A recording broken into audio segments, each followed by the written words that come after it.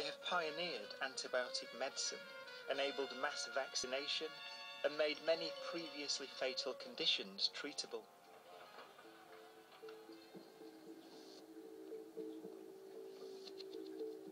Today, those companies in Britain exist as the fourth largest pharmaceutical company in the world, GlaxoSmithKline, a part of an industry worth an estimated £200 billion a year.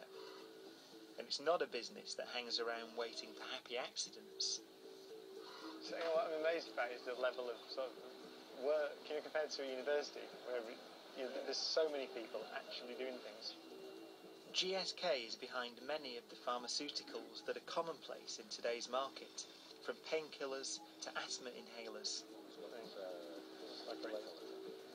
One of their biggest research and development hubs is here on home soil, 20 miles north of London in Stevenage. I love that. Philadelphia, Shanghai, Stevenage. so this lab in general, this is the, the early early discovery within biopharm, so we're responsible. Dr. Tom Webb joined GSK three years ago and has been working to develop new drugs ever since. How do you do it? I mean, if somebody comes along from management at GSK and said, right, we need a drug to treat you know, arthritis, a new one, and what, what do you do? Do you, you say, okay. Um, Run around screaming. here's, a, here's a test tube.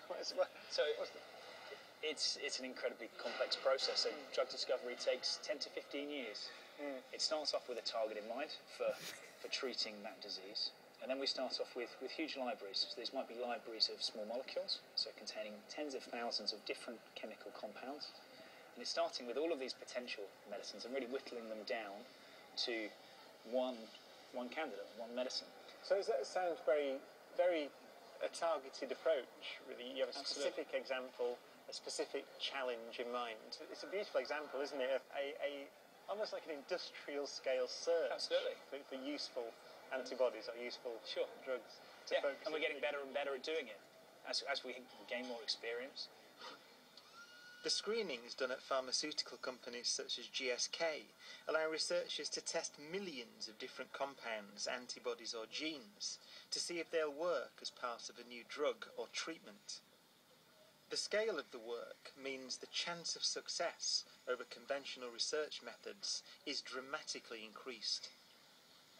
One of, of GSK's medicine is a, a, treatment for lupus. And lupus is a, a disease which hasn't seen any new treatments for 50 years. Mm. And as a result of this pretty sort of strategic way of working, having a target in mind and developing a medicine for that target using a library has enabled us to, to market this medicine in lupus.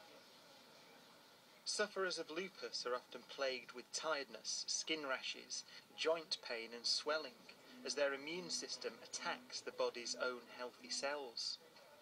Symptoms this new drug has helped to relieve. And other treatments are emerging as a product of this strategic and focused method of developing medicines. In your view, where, where are the great advances of the future going to come from that targeted approach because you can apply a great amount of brain power on it? Or is somewhere Pasteur sat in his sure. shed with a petri yeah, dish yeah. is going to come along and say, no, it's here? Uh, it's, it's a great question. If we were just playing around in the lab, I think the likelihood of us stumbling across a discovery that enables us to make a medicine is, is probably unlikely. So we have to commit to making medicines for patients, and that doesn't happen by complete serendipity.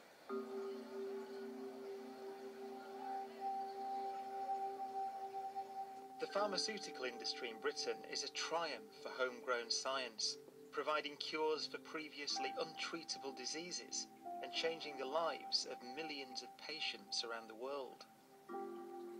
Well, this is an impressive place. It's science on an industrial scale. And you see these vast research labs. And that's what you need because you have to do hundreds of thousands or even millions of individual experiments to bring a new drug to market. It also costs billions of pounds. So this is targeted science. There are particular problems that need solutions. There's a particular disease that needs treating. And I suppose for medical science as a whole, you can state its goal in one simple sentence. It's to make people better. It's undeniable that targeted research delivers. But and it's a big but. There is a catch, and it's this.